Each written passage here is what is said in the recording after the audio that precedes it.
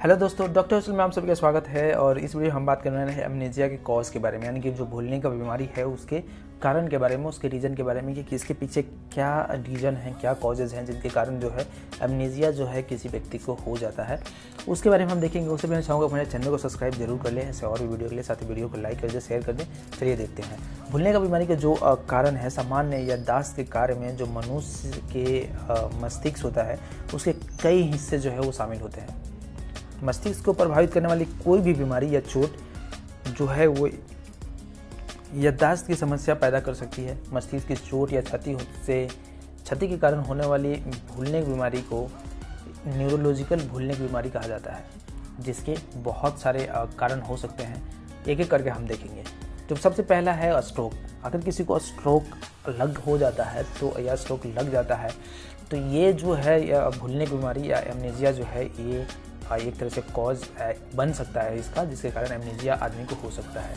जो दूसरा है, वो है हर्पिक सिम्प्लेक्स वायरस जैसे कि किसी वायरस से संक्रमित होने के कारण होने वाली जो सूजन हो जाता है, शरीर में कहीं मौजूद कैंसर की प्रतिक्रिया के रूप में जो मस्तिष्क में सीज़न सूजन हो जाता है कैंसर की अनुपस्थिति में एक जो आटो इम्यून प्रतिक्रिया होती है, उसमें सीज़न सूजन आ जाता है, जिसके कारण ये जो भूलने की बीमारी है, ये स्टार्ट हो सकता है, भूलने की बीमारी जो एमनेजिया है, ये इसका रीजन बन सकता है।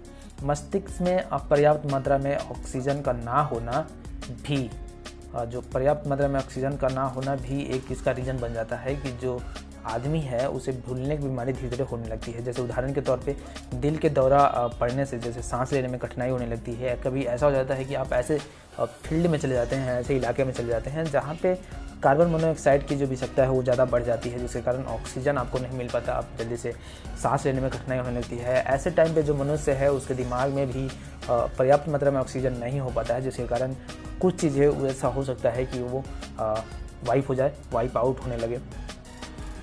जो अगला है, वो है दीर्घकालिक अल्कोहल का उपयोग करने से विटामिन बी वन की कमी हो जाती है। जो विटामिन बी वन है, वो हमारे दिमाग के लिए भी बहुत ज़रूरी है। तो बहुत ज़्यादा लोग जो बहुत लंबे टाइम से शराब पीते हैं, उन्हें बहुत सारी चीज़ें याद नहीं रहेगी। उन्हें ये बीमारी हो सकती है। जो अगला है, वो है मस्तिष्क के उन क्षेत्रों में ट्यूमर का हो जाना, जो कि याददाश्त को निमंत्रण करते हैं। ऐसा ईश्वर ना करे किसी को हो। पर अगर गलती से एक किसी को ट्यूमर हो जाता है मस्तिष्क में ये जो होते हैं, ये काफ़ी एज के बाद एक्चुअली में स्टार्ट होते हैं तो ऐसा हो सकता है कि उन्हें या तो एलमाइजर हो जाए या एनेजिया हो जाए। तो ये चीज़ें जो है ये इनके रीजन में आ सकते हैं।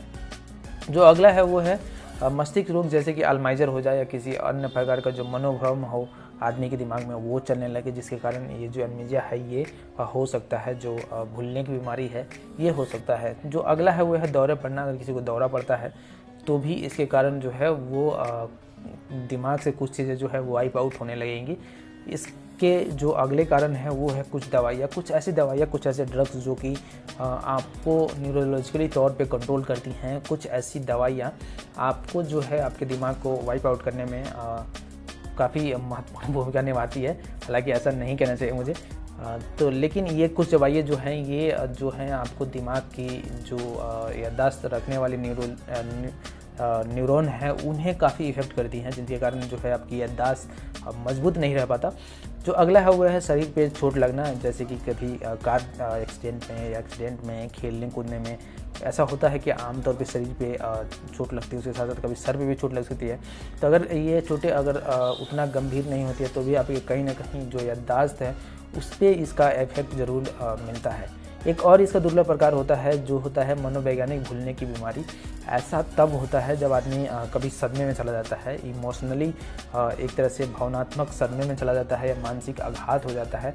उसके कारण एक हिंसक गतिविधि का अनुभव वो करने लगता है और ऐसे विकार में आदमी की जो याददाश्त होती है, जो व्यक्तिगत यादें होती है आत्मचरित्र होता है, वो आदमी की जानकारी के हिसाब से एक तरह से खोने लगती है। और भूलने की बीमारी का जो सबसे मज़बूत जोखिम कारक है, वो होता है मस्तिष्क की सर्जरी या सिर में चोट लगना या आघात का होना। ये जो है भूलने की बीमारी में बहुत महत्वपूर्ण भूमिका निभाता है। इसके साथ ही अगर किसी को स्ट्रोक्स है तो वो जो है, ये भी एक महत्वपूर्ण भूमिका निभाता है।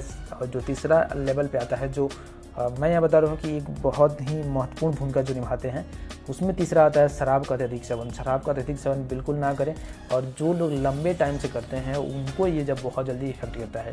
इसके जो अगला है, चौथा, वो है दौरे। तो ये जो चार चीज़ें जो मैंने बताई, ये बहुत ज़्यादा महत्वपूर्ण भूमिका निभाता है। जैसे किसी का मस्तिष्क की सर्जरी हुआ है चोट लगा हो, या सिर पे आघात हुआ हो।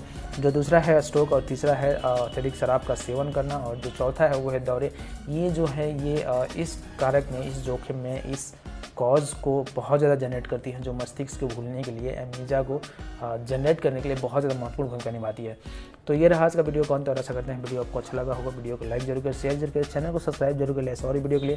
साथ ही अगर आपको कोई सवाल है, कोई कमेंट है तो आप हमें कमेंट सेक्शन में ज़रूर बता सकते हैं, अपने सलाह दे सकते हैं। उसका जवाब आपको ज़रूर मिलेगा। अगर कुछ सलाह हमारे लिए होगा तो हम उसे ज़रूर इम्प्लीमेंट करेंगे और वीडियो को लाइक जो भी है शेयर कर दीजिएगा। And thank you for watching this video God bless you all मिलते हैं हम सब वीडियो